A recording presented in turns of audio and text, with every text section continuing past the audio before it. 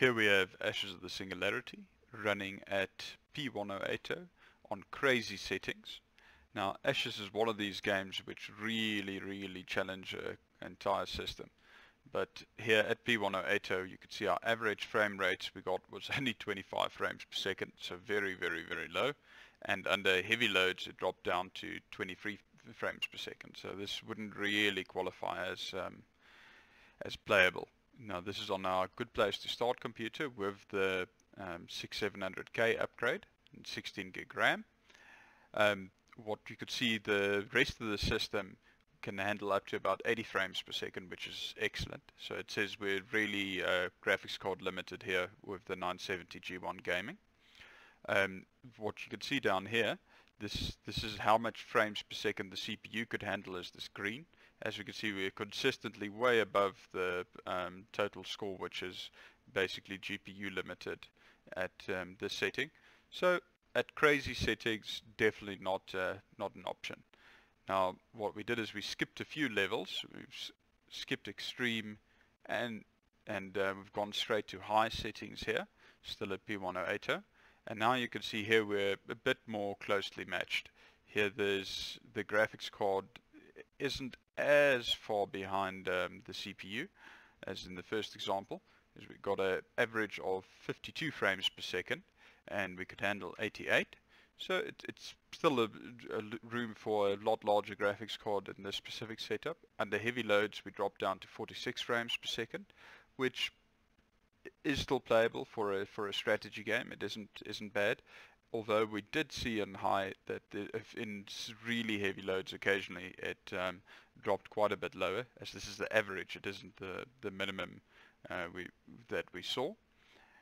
Then um, if we take it down to standard settings then um, we're seeing basically an average of almost 60 frames per second and we can see we're a lot uh, closer matched here. And in the normal batches we actually were waiting on um, system resources about 4% of the time and um, medium batches about 2% of the time uh, waiting on the system instead of the graphics card. And you can see our curves here much closer matched again. And this is, we'd probably recommend the standard settings at P1080 plan simply because we saw less of the super low frame rates um, occurring during the actual uh, benchmarking there. Here we have Ashes of the Singularity um, running on our Good Place to Start computer with the 6700K and we're testing the 970 G1 gaming here. Um, this is on crazy settings at 2K. As you can see, our average frame rates were very, very low. We got just under 23 frames per second. Uh, the rest of the system could still handle quite good frames, giving about 80 frames per second. And the lowest average we saw here was 21, but we saw the actual frame rate drop way below that, as this is the average, not the the lowest. As you can see here, we got quite a big spread between what the rest of the system's resources can handle, which is um, the green and what the actual score was, which is the blue, which is in, in this case GPU limited. But we wouldn't have expected it to be able to run it crazy. So let's skip a few settings and go all the way down to standard. Now standard is what we'd recommend at P1080 for this card. As we can see here, we're getting playable but not ideal frame rates here. We um, are getting uh, 2% of cases under the normal and medium batches where we're actually waiting on the system and not on the graphics card. But we, you can see there's a lot of room for improvement in terms of the graphics card here. And we, our curves are a bit closer matched. But we did see under heavy batches it actually drop on occasion quite a bit lower than um, the 43 frames as that's an average. So we would not recommend um, for normal gameplay on standard.